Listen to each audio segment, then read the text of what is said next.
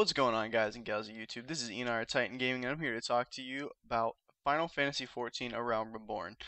Today I'll be talking about my thoughts and plans with the game. I'll be releasing more content as soon as the NDA is lifted, so stay tuned for that. Alright, first off, I'm going to give you my thoughts on the game. The first topic I'm going to cover is the combat, because that's what you'll spend most of your time doing if you're anything like me. Combat, you know, it's pretty fluid all in all. They have about a 2.5 second global cooldown, which seems pretty long at first, but you'll quickly find out that with all the animations and other aspects of combat, it's actually a really good GCD for the game.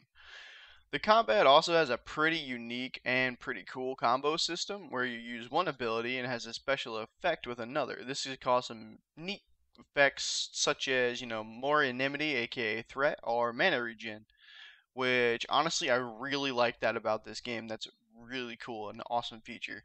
All right, on to the next topic, questing. Questing's honestly pretty much the same as any other MMO with some awesome Final Fantasy flair, which isn't a bad thing at all.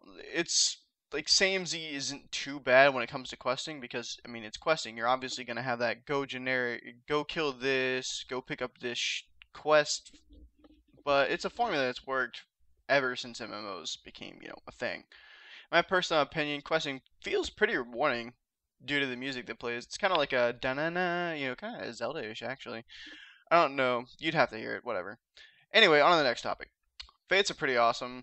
Uh, fates are basically where it's kind of like a public quest.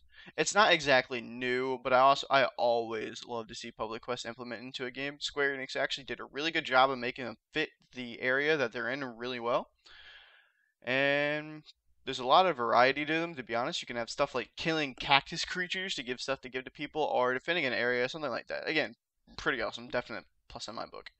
All right next topic is the class system. This is the biggest plus in my opinion. It makes the game a bit grindy but i mean it's a final fantasy game. It's going to be grindy anyway. The class, system, uh, the class system is a bit complicated, but it's pretty awesome. The idea of leveling every single class on one character is awesome, especially people who get attached to their character.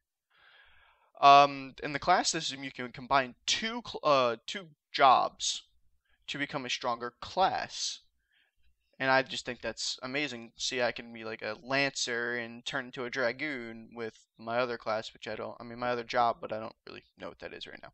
Anyway, and uh, my next topic is the community. The community of Final Fantasy XIV. Uh, honestly, it seems pretty good so far the community in the open beta was actually really helpful, and there weren't too many trolls that I saw. The fan site communities are pretty good, you know, like Reddit, the Reddit, subreddit, and stuff like that are all pretty nice. Uh, I mean, of course, there's going to be a little bit of bad content, but that's just how it is. That's always going to be there. You can get tons of information on the net with very helpful people backing these fan sites.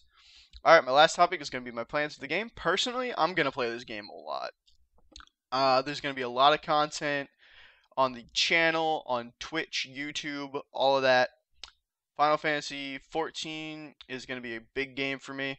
Also, there's going to be a dual stream with Traveldor on release day. I cannot wait to see you guys there, and I hope you guys enjoyed this video. Till next time, later.